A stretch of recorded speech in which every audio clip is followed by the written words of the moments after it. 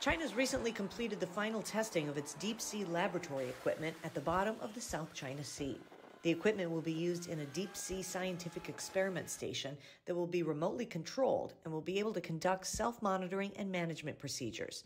The recent testing mission was also used to check the underwater performance of equipment used in other national R&D projects.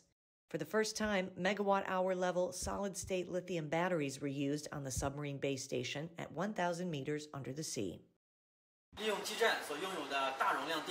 With the large power capacity of the base station, the test also verified the base station's submarine navigation capabilities and its autonomous movement function, which enables precise deployment of the base station on the seabed and operations at multiple sites.